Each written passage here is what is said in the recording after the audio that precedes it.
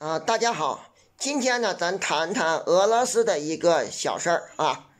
那个俄罗斯媒体二十日报道，北约国家派军队教官前往乌克兰培训该国士兵，但加拿大教官近日在乌克兰发生了聚集性感染新冠病毒的情况，而且是被乌克兰士兵传染的。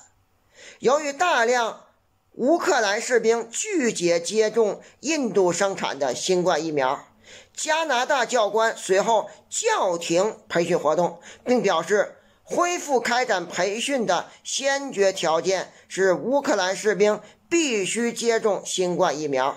乌克兰武装部队司令部担心失去呃加拿大教官的支持。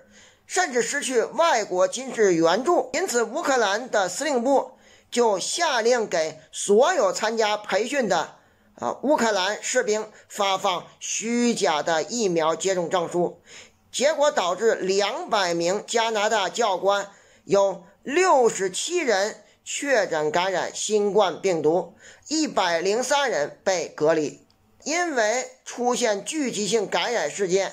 加拿大国防部领导决定终止派遣团在乌克兰工作。加拿大方面已经通过军事沟通渠道向乌克兰军方领导发出了问询，要求解释事件发生的原因。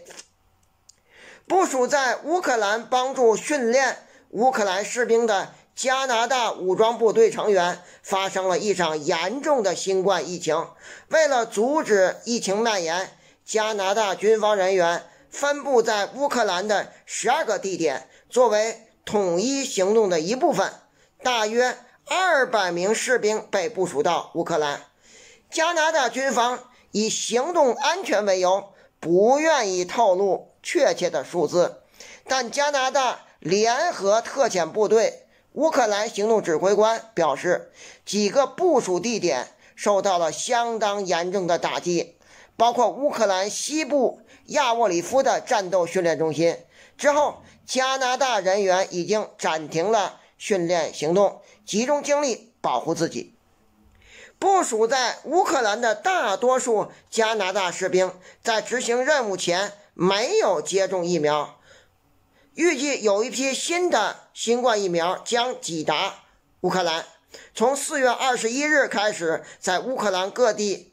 为加拿大士兵接种第一针疫苗，那么这个军队的负责人就说：“隧道尽头的曙光。”据了解，今年三月最新一轮的轮换的加拿大士兵抵达乌克兰后感染的新冠，呃，目前呢已经康复了。那么后边一些个新的那个加拿大士兵应该都注射了这个新冠疫苗。应该讲可以解决这些事情了。那么这件小事说明了乌克兰是一个呃，应该讲从上到下都不懂得尊重纪律。你就看看现在乌克兰这件事儿所做的，从上到下一片片到底，这样的一支军队怎么和俄罗斯打仗呢？我估计他们就是纯粹就找死啊！